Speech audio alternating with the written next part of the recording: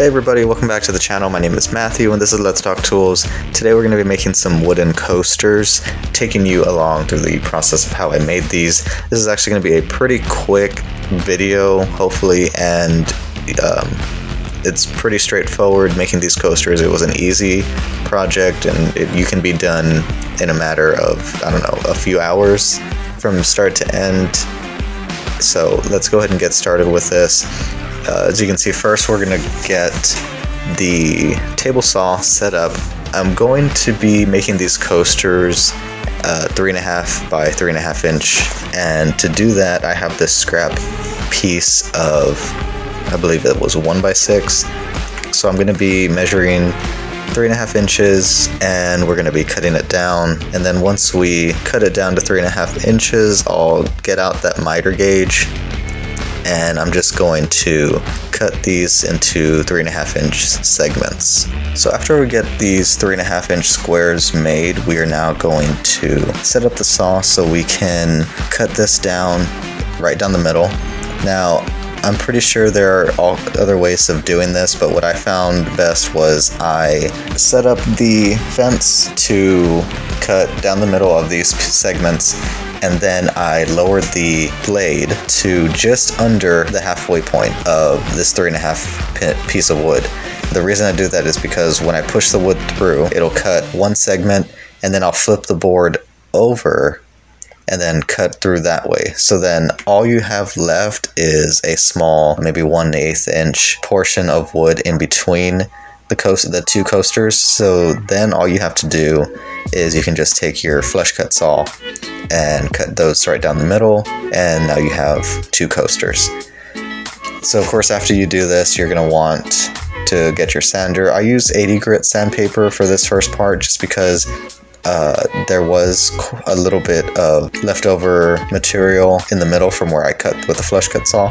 So that 80 grit just takes it down a little quick and we're able to then move on to 220 to get a final finish on this and 220 is about as high as we go um, you can get away with 120 220 is just kind of our preference and as you can see here um, on i believe it was the second coaster i was sanding down i let my finger get a little too close to that uh, to the sander and it uh, took a piece of my thumb. So it is important you pay attention to what's what's going on around you.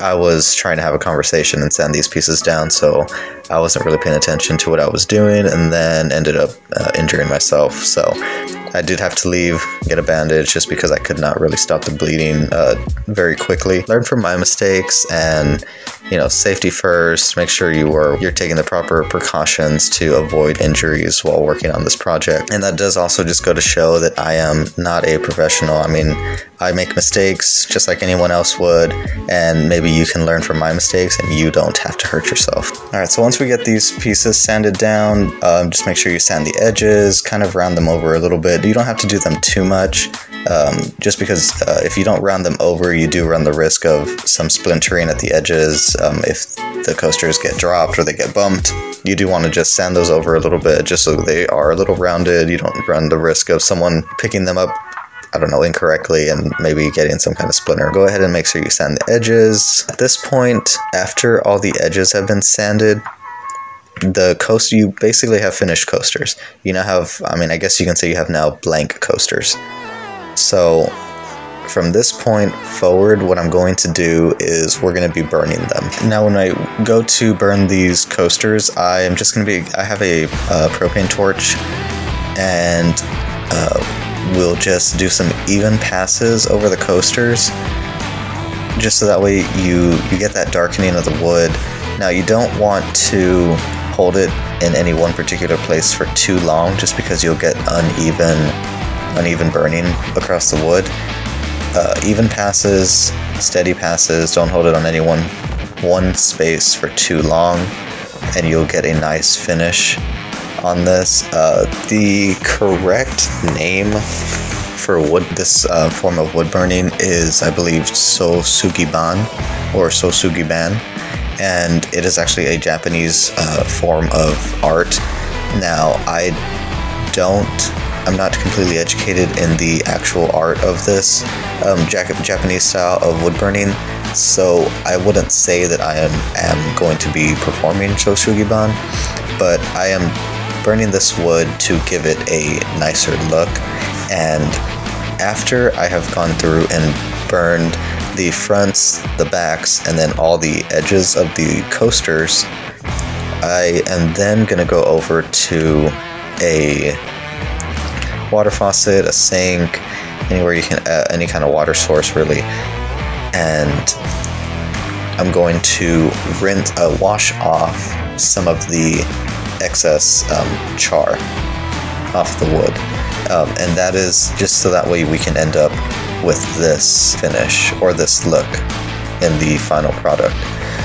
Now, to get some of this extra um, char off of the coasters, I do have a, I believe it was a nylon bristle brush or it might be a brass bristle brush and I'm just going to scrub these lightly and it's going to take off the excess uh, char and then it'll leave behind some uh, darker spots and then some lighter spots as well so that uh, transition of the two shades on the actual grain of the wood, it just gives that nice look to it.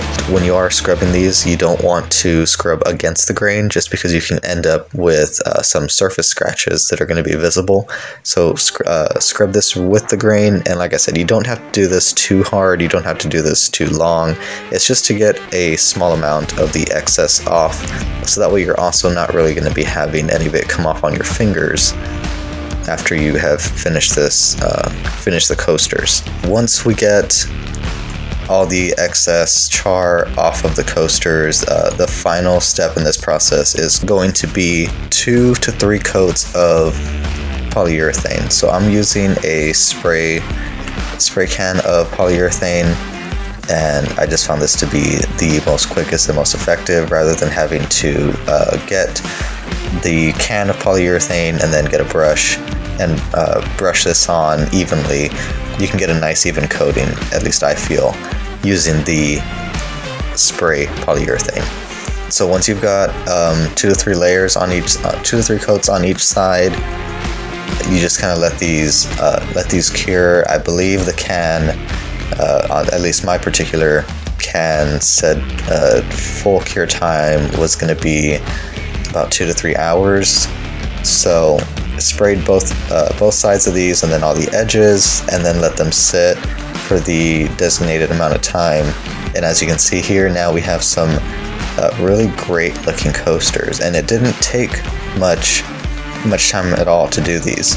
Um, so like I said, you can batch out quite a bit of these coasters in a matter of hours Hopefully uh, you took something from this video and hopefully now you can go out and try making these coasters on your own. If y'all have any questions or anything, please feel free to ask me down in the comments below. Uh, I had a lot of fun doing it and I look forward to making some more of them. Now if this kind of video is something that y'all enjoyed, um, I just ask that you like the video down below and while you're down there, uh, subscribe to the channel and turn on notifications so that way you're notified the next time I upload new videos.